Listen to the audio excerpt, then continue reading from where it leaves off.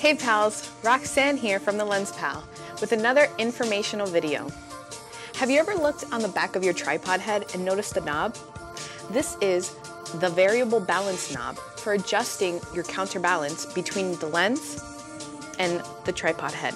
Its main function is to precisely balance your camera or lens at all angles.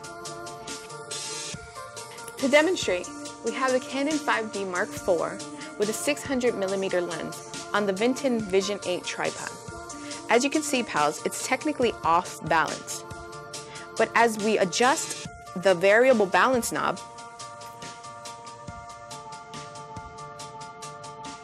the counterbalance kicks in.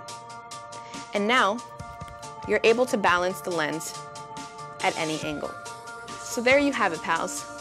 Balancing a heavy lens or camera on a tripod has never been easier. Consider renting from our wide range of fluid heads with this feature, including the Manfrotto 526 and the Vinten Vision 8, only from thelenspal.com.